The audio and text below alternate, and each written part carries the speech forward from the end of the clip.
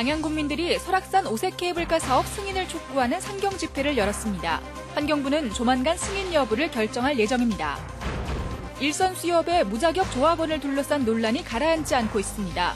동시조합장 선거가 끝난 뒤에도 개선이 늦어지고 있습니다. 올해 야생진드기 매개 감염병 환자가 도내에서 가장 많이 발생한 것으로 나타나 추석을 앞두고 각별한 주의가 요구됩니다. 화폐 인물 2명을 배출한 강릉 지역에서 심포지엄이 열렸습니다. 국립 화폐박물관 유치 등 다양한 관광 전략 활용 방안이 제시됐습니다. 시청자 여러분 안녕하십니까? 뉴스데스크 강원입니다. 설악산 오색 케이블카 사업의 환경 영향평가 본안 합의가 결과 발표만 남았습니다. 양양 군민들과 지체장애인들이 오늘 청와대 앞에 모여 환경 영향평가 동의를 촉구했습니다. 황병준 기자입니다.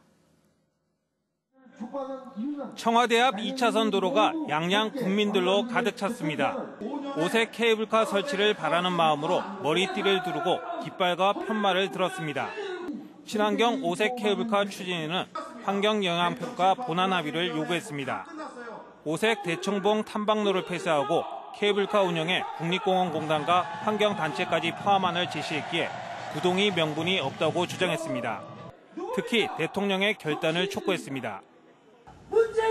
대통령은 오늘 대답을 해야 됩니다. 사람이 먼저냐, 사냥이 먼저나 대답을 해야 됩니다. 여러분 맞지 않습니까?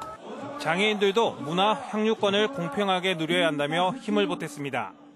장애인도 설악산 정상에 올라 아름다운 경관을 바라보는 즐거움을 누려야 합니다, 여러분.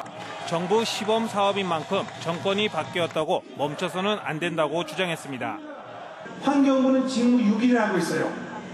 해주려고 그러고 안 해주는 거예요. 이게 있을 수가 있습니까? 군수와 의장, 추진위원장은 삭발식을 갖고 결연한 의지를 보였습니다. 지역 사회단체장들과 오색마을 주민들도 삭발식에 동참했습니다. 원주지방 환경청이 늦어도 다음 달 초까지 결정할 것이라는 전망 속에 추석 민심을 지켜볼 것이라는 관측이 엇갈리고 있습니다. MBC 뉴스 홍병춘입니다.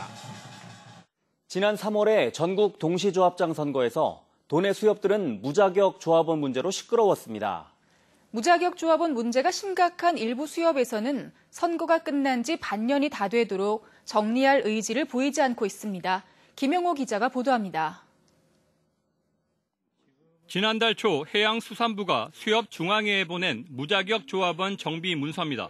다음 달 15일까지 전수조사를 통해 무자격 조합원을 정비한 실적을 제출하도록 했습니다. 곧바로 수협 중앙회는 전국 91개 단위 수협에 두 달 동안 이달 말까지 무자격 조합원 정비를 지시했습니다. 하지만 고성군 수협이 지난달 자체 이사회에 보고한 내용에는 정리 기한이 빠져 있습니다. 해수부에서 온 공문도 이사회에서는 다 나왔어요. 지침서까지 나왔는데 문서가 뭐 한 장 둔갑을 해서 12월 말일까지만 어, 조합원 정리를 하면 된다. 고성군 수협은 올해 전국 동시조합장 선거에서 무자격 조합원 투표가 논란이 돼 현재 당선 무효 소송까지 진행 중입니다. 당시 1,080명의 조합원 가운데 44%인 480여 명의 자격이 논란이 됐는데 이사회는 선거에 영향을 줄 수 있다며 정비를 미뤘습니다. 선거가 끝난 지 반년이 됐는데도 고성군 수협은 조합장이 새로 선출돼 업무 파악에 시간이 걸린다며 막연한 조합원 정비 계획만 밝혔습니다. 온그 지침에 보면은요, 그 정리하는 방안을 또 다시 마련한 게 있더라고요. 내부적으로 세부 어떤 추진 계획 방안을 마련을 해서 추진을 하려고 지금 하고 있습니다. 해양수산부가 이번에 무자격 조합원 정비를 지시한 건 선거 관련 소송이 주된 이유였습니다. 정작 논란의 중심에 선 해당 수협은 무자격 조합원을 정비할 생각은 하지 않고 있습니다. MBC 뉴스 김영호입니다. 태백 시가 지난해 5월 구문소동에 준공한 동점산업단지 입주 기업을 모집합니다.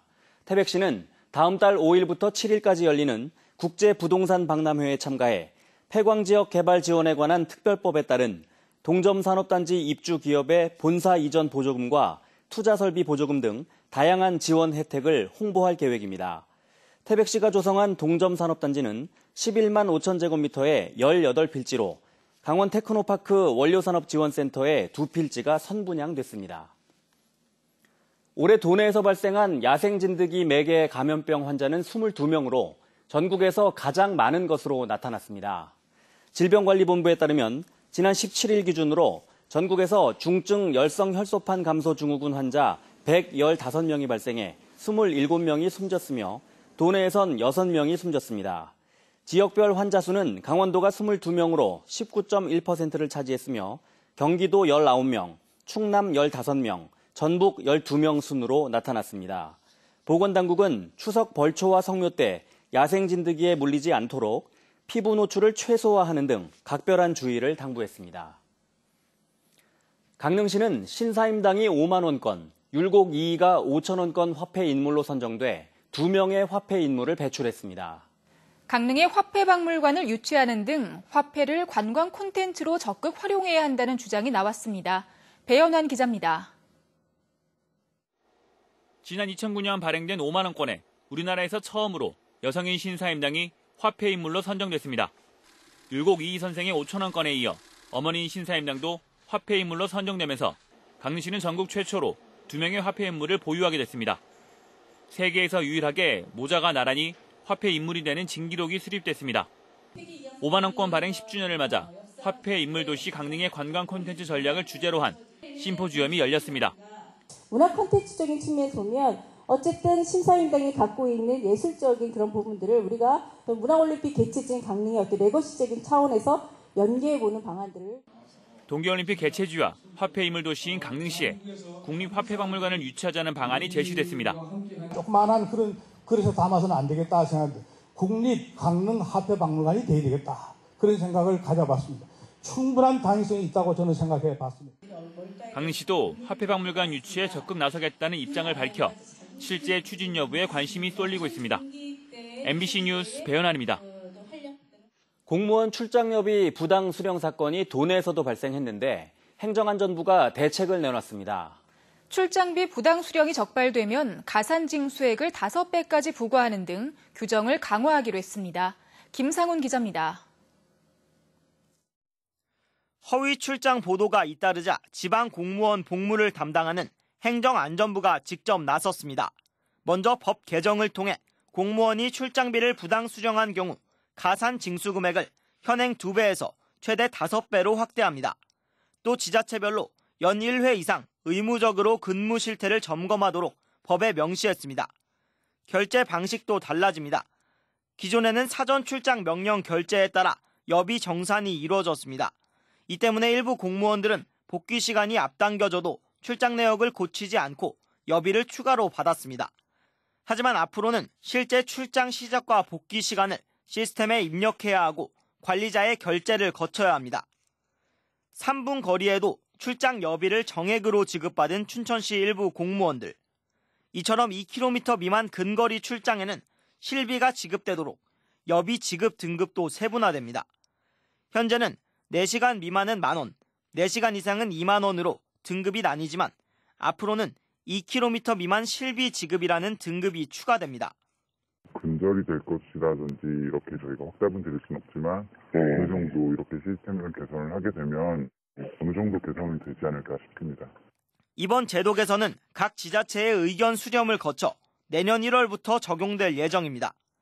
이와 별개로 춘천과 양구, 태백 등 도내 지자체 허위 출장에 대한 수사와 조사는 여전히 진행 중입니다. 법 개정에 앞서 정확한 조사와 그에 맞는 징계가 선행돼야 합니다. MBC 뉴스 김상훈입니다.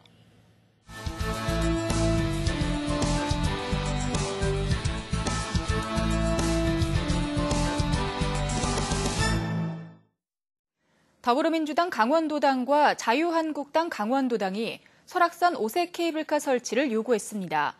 민주당 도당은 성명서를 내고 오색 케이블카 사업은 국토 균형 개발을 통해 침체된 설악권의 경제에 활력을 넣을 수 있는 마지막 기회라며 설치를 요구했습니다. 한국당 도당도 논평을 내고 환경평가도 인간을 위한 것이 될 때 의미가 있는 것이라며 환경 영향 평가를 이유로 케이블카 설치에 대한 발목 잡기를 해서는 안 된다고 밝혔습니다.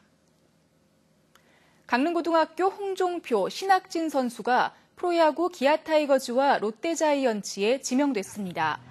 어제 열린 2020 한국 프로야구 신인 2차 드래프트에서 강릉고 홍종표 선수는 2라운드 16순위로 기아 타이거즈에, 신학진은 10라운드 94순위로 롯데 자이언츠에 지명돼 프로에서 뛰게 됐습니다. 속초 설악고의 투수 이강준 선수는 3라운드 22순위로 KT 위즈에 선발됐고 강릉고 출신의 인하대 박관진 선수는 5라운드 47순위로 키움 히어로즈에 지명됐습니다. 삼척시가 상수도 누수율을 줄이기 위해 5년에 걸쳐 관로 정비 사업을 펼칩니다. 삼척시는 상수도 현대화 사업이 국비 지원 신규 사업에 선정돼 올해부터 2023년까지 국도비 207억 원을 포함해 노후관 정비 사업에 484억 원을 집중 투자할 계획입니다. 상수도 관로 564km에 대해 누수 탐사를 실시하고 노후관 175km를 정비해 유수율을 현재 60%에서 85%로 높이기로 했습니다. 삼척시는 올해 추경 예산에 46억 원을 확보해 노후관로 정비 사업 실시 설계를 시작하고 내년 7월부터 본공사에 나설 계획입니다. MBC 강원영동 시청자위원회 8월 회의가 오늘 오전 강릉방송국 회의실에서 열렸습니다. 오늘 회의에서 시청자위원들은 지역 발전과 여론 선도를 위한 방송의 역할이 중요하다고 강조하고 인구 문제와 환경 오염에 대한 심층 보도와 프로그램 제작을 주문했습니다. 또 설악산 오색 케이블카 설치 등 지역 현안 문제에 대한 지속적인 관심을 당부했습니다. 정선 사과가 추석 선물용으로 큰 인기를 끌고 있습니다. 정선군 농업기술센터에 따르면 정선 사과는 올해 300여 농가 241헥타르에서 4,500톤을 수확해 180억 원의 농가 소득을 기대하고 있으며 추석을 앞두고 주문이 늘고 있습니다. 뉴스를 마칩니다. 고맙습니다.